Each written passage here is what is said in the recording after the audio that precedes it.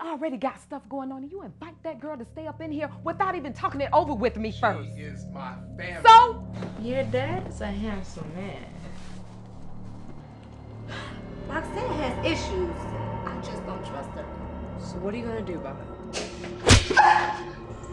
Pressuring me into having sex is not the answer. Especially in a damn park. We can go back to my place. She's family. What's the big deal? No man should go without sex. Then get your hands off of me. You've been drinking, haven't you? So what we had was just a waste of time. No, no, not at all. What are you doing here? You gotta tell me what's going on between you and your cousin. She raped me. I do not need a degree in human behavior to see you have a thing for your father. We really need to get rid of Roxanne. No, we are not gonna start that again. The entire family knows that you fucked your own father. Your mother told us everything. It's cool. I love my family.